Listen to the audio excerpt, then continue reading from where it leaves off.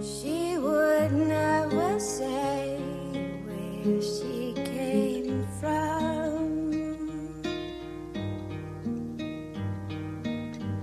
Yesterday don't matter, cause it's gone.